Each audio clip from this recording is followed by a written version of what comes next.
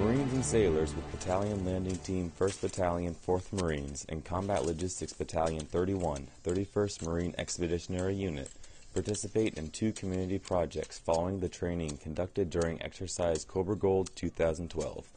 The projects included tilling soil and clearing brush away from both the Pattaya Child Protection and Development Center and the Home for the Aged, all the while acting on a strictly voluntary basis. We came here for the NEO training, you know, do some Cobra Gold training for 2012. And as myself and the other Marines, we're all happy to get back to these kids. Some of these kids don't have parents, some of them were growing up in a, a, a rough community. So to see these children happy, just to see some Marines here helping out their country is a great feeling. After the work, the Marines and sailors interacted with the elderly citizens, Corporal Jonathan Wright, Pattaya, Thailand.